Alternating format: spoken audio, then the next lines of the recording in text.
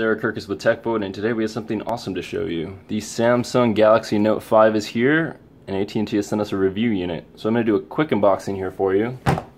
Fancy box. It has been opened before, but we have not. I did take the plastic off earlier, however. Uh, so this is a device, 5.7 inches, gorgeous aluminum siding, trim, whatever you'd like to call it. Brilliant bezel.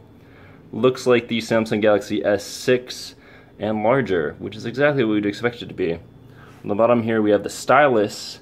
As you know, if you put it in backwards, there currently is a bug that is breaking the phone.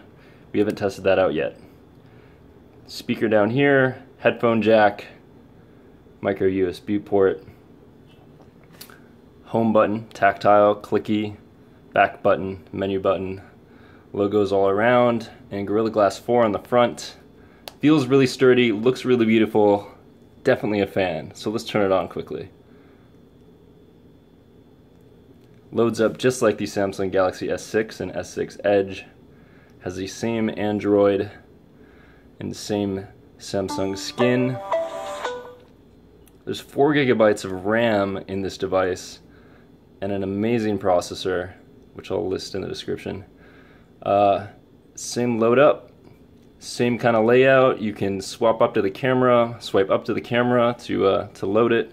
Let's see if the double tap features here actually. Looks like it. So that's great. And it actually feels really slim in the hand without a case. And going from a 5.1 inch Samsung Galaxy S6, this is actually not too bad, especially because it's the same exact phone, at least in terms of scale and layout and you know body build.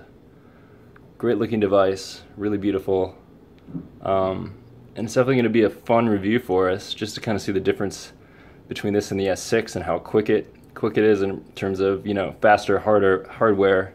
The display is obviously larger, just as beautiful. The icons pop off the display. You can see this here.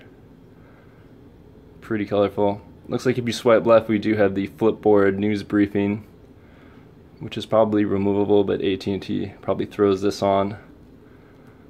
Um, but anyway, we just want to do a quick unboxing for you, so that's a quick look at the Galaxy Note 5. Stay tuned for a full review. Thanks for watching.